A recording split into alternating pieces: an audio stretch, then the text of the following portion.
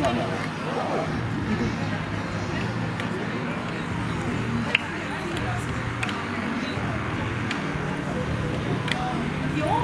wollte auch. Habe ich gesehen.